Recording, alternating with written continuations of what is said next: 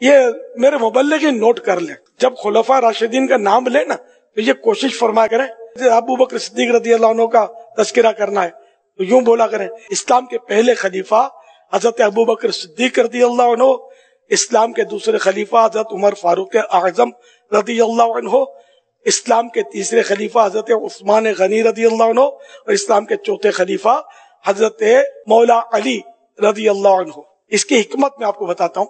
जो मैं ये अर्ज़ कर रहा हूँ। बीच में एक शरारत हुई थी, अली दा पहला नंबर, अली दा पहला नंबर। यानी पहले खलीफा अली, ये मिसगाइड करने वाला जुमला है, गुमराह करने वाला जुमला है।